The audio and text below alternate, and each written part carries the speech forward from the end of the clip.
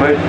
Eine weitere Premiere haben wir am heutigen Tag. Nicht, dass wir beide Wolfgang alt werden und die sechs Stunden im Testen zehren. Ich möchte hier in der Sprecherkabine, wir beide haben Sie schon begrüßt, ich glaube unsere erste Co-Moderatorin begrüßen, die die VLN in den letzten 26 Jahren gesehen hat. Das ist die Alex Vormann. Da werden wir gleich noch mehr darüber erzählen, wer die Alex ist, wo sie herkommt. Und zunächst nochmal, morgen Alex.